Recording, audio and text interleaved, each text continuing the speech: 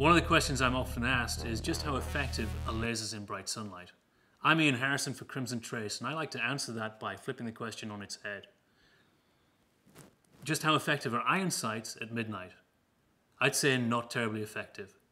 For that reason, I like to have both tools in my toolbox, being able to use lasers at night or low light scenarios and iron sights in, in the daytime.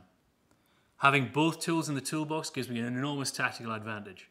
I'd say that being able to put that dot or that bullet exactly where it needs to go gives me a huge advantage in all conditions.